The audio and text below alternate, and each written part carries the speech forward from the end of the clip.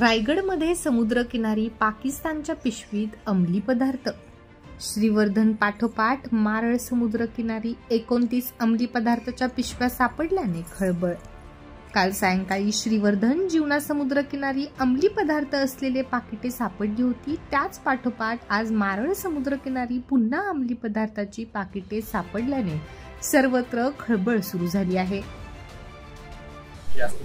आल्या तर त्यांनी तात्काळ नजीकच्या पोलीस स्टेशनला माहिती मिळवावी तर सर हे मटेरियल नेमकं काय आहे आणि कुठून आलं असं असा अंदाज आहे? समुद्रातून जे आता वाहत आलेलं मटेरियल आहे त्याच्यामध्ये अ, चिरस हा पदार्थ आहे आणि त्याच्यामध्ये ते टेस्टिंगसाठी पण पाठवतात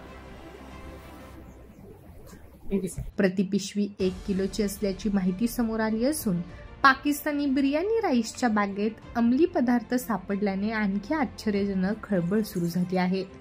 श्रीवर्धन समुद्रकिनारी नऊ तर मारळ समुद्रकिनारी एकोणतीस अंमली पदार्थांच्या पिशव्या सापडल्याने श्रीवर्धन समुद्रकिनारी संशयास्पद वस्तू सापडण्याच्या घटनेत वाढ होताना दिसत आहे. पोलीस अधीक्षक सोमनाथ घारगे यांच्या मार्गदर्शनाखाली उपविभागीय पोलीस अधिकारी प्रशांत स्वामी या प्रकरणी अधिक तपास करीत आहेत. जागृत महाराष्ट्र न्यूज रामदास चव्हाण रायगड. अपडेटसाठी जागृत महाराष्ट्राला सबस्क्राईब करा आणि बेल आयकॉनला प्रेस करा.